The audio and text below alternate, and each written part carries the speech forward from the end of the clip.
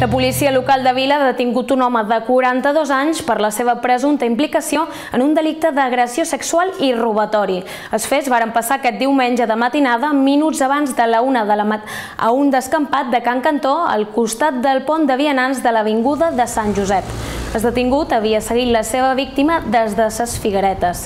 La va amenaçar amb un ganivet, la va agredir sexualment i li va prendre sous que portava. La dona va ingressar a l'Hospital de Can Misses i l'home va ser detingut per la policia fins a la seva posada a disposició judicial.